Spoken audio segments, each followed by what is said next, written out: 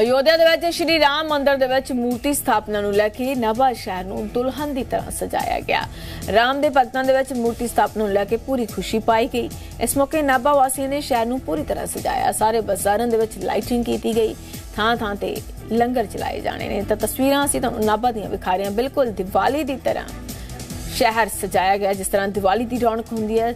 ਉਸੇ ਤਰ੍ਹਾਂ ਹੀ ਲੋਕਾਂ ਦੇ ਵੱਲੋਂ ਦੀਪਮਾਲਾ ਇੱਥੇ ਵੀ ਕੀਤੀ ਗਈ ਇੰਜ ਲੱਗਦਾ ਹੈ ਇੱਕ ਦੀਵਾਲੀ ਹੋਰ ਦੇਸ਼ ਦੇ ਵਿੱਚ ਮਨਾਈ ਜਾ ਰਹੀ ਹੋਵੇ।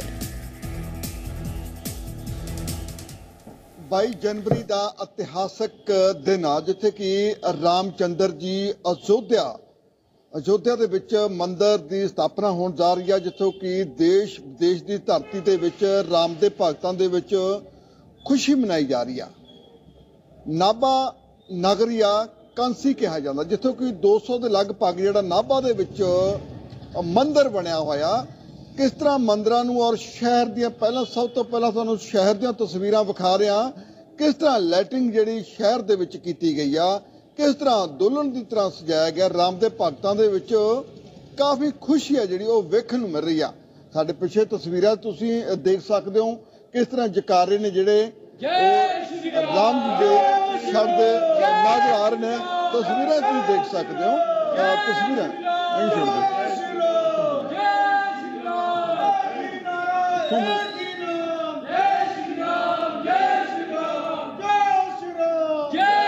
ਬਿਲਕੁਲ, ਅਹ ਕਾਫੀ ਖੁਸ਼ੀ ਹੈ ਜਿਹੜੀ ਉਹ ਭਗਤਾਂ ਦੇ ਵਿੱਚ ਵੇਖਣ ਨੂੰ ਮਿਲ ਰਹੀ ਆ। 22 ਤਰੀਕ ਦਾ ਦਿਨ ਆ ਜਿਹੜਾ, ਉਹ ਦੀਵਾਲੀ ਦੀ ਤਰ੍ਹਾਂ ਮਨਾਇਆ ਜਾਣਾ।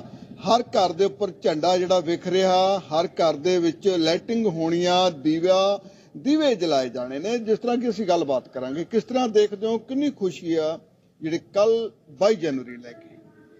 ਭਗਵਾਨ ਰਾਮ ਮਰਿਆਦਾ ਪੁਰਸ਼ੋਤਮ, ਜਿਨ੍ਹਾਂ ਨੂੰ ਕਰੀਬ ਕਰੀਬ 7000 ਸਾਲ ਦੱਸਦੇ ਨੇ ਇਤਿਹਾਸ ਦੇ ਮੁਤਾਬਕ, ਉਹਨਾਂ ਨੂੰ ਬਹੁਤ ਹੀ ਸਾਸੀ ਕਰਮਾਂ ਵਾਲੇ ਆ। ਸਾਡੀ ਇਸ ਜੀਵਨ ਦੇ ਵਿੱਚ ਇਸ ਹੋਂਦ ਦੇ ਵਿੱਚ ਜਿਨ੍ਹਾਂ ਦਾ ਮੰਦਰ ਬਣਨ ਜਾ ਰਿਹਾ ਹੈ ਔਰ ਪ੍ਰਭੂ ਰਾਮ ਨੂੰ ਆਪਣਾ ਘਰ ਮਿਲਣ ਜਾ ਰਿਹਾ ਉਸ ਦੇ ਤਿਹਾਰ ਦੇ ਵਿੱਚ ਸਾਡੇ ਵਾਸਤੇ ਆਪਣੇ ਹਿੰਦ, ਭਾਰਤ ਵਾਸਤੇ ਭਾਰਤਸਤਾਨ ਭਾਰਤ ਵਾਸਤੇ ਪੂਰੇ ਹਿੰਦੁਸਤਾਨ ਵਾਸਤੇ ਦੇਸ਼ ਵਾਸੀਆਂ ਵਾਸਤੇ ਪਹਿਲੀ ਗੱਲ ਤਾਂ ਬਹੁਤ ਬਹੁਤ ਲੱਖ ਲੱਖ ਵਧਾਈ ਔਰ ਬਹੁਤ ਖੁਸ਼ੀ ਹੈ ਇਸ ਗੱਲ ਦੀ ਕਿ ਸਾਡੀ ਉਹ ਪਹਿਲਾਂ ਜੋ ਦੀਵਾਲੀ ਮਨਾਉਂਦੇ ਸੀ, ਉਸ ਨੂੰ ਅਸੀਂ ਦੀਵਾਲੀ ਨਹੀਂ ਮੰਨਦੇ, ਇਹ ਸਾਡੇ ਵਾਸਤੇ ਇਤਿਹਾਸਕ ਦੀਵਾਲੀ ਹੋਊਗੀ, ਜਿਸ ਦਿਨ ਵਿੱਚ ਨਾਭੇ ਦੇ ਵਿੱਚ, ਹਿੰਦੁਸਤਾਨ ਦੇ ਵਿੱਚ ਰਾਮ ਭਗਤਾਂ ਵਿੱਚ ਬਹੁਤ ਹੀ ਜੋਸ਼ ਪਾਇਆ ਜਾਂਦਾ ਹੈ। ਸਨ 90 ਦੇ ਵਿੱਚ 1990 ਦੇ ਵਿੱਚ ਅਯੋਧਿਆ ਜੀ ਗਏ ਸੀ।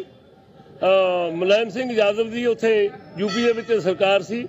ਤਾਂ ਸਾਨੂੰ ਨਖਲਊ ਜੇਲ੍ਹ ਦੇ ਵਿੱਚ 14 ਦਿਨ ਉਹਨਾਂ ਨੇ ਰੱਖਿਆ। ਉਸ 14 ਦਿਨ ਜੇਲ੍ਹ ਤੋਂ ਰਹਿਣ ਤੋਂ ਬਾਅਦ ਫਿਰ ਅਯੋਧਿਆ ਜਾ ਕੇ ਪ੍ਰਭੂ ਰਾਮ ਜੀ ਦੇ ਔਰ ਸਰਜੂ ਨਦੀ ਦੇ ਵਿੱਚ ਨਹਾ ਕੇ ਪ੍ਰਭੂ ਰਾਮ ਜੀ ਦੇ ਦਰਸ਼ਨ ਕਰਕੇ ਆਏ ਹਾਂ। ਉਸ ਦਾ ਵੀ ਸਾਨੂੰ 1990 ਦੇ ਵਿੱਚ ਸੁਭਾਗਿਆ ਮਿਲਿਆ। ਜੀ ਮੀਡੀਆ ਲਈ ਨਾਭਾ ਤੋਂ ਹਰਮੀਤ ਸਿੰਘ ਮਾਨ।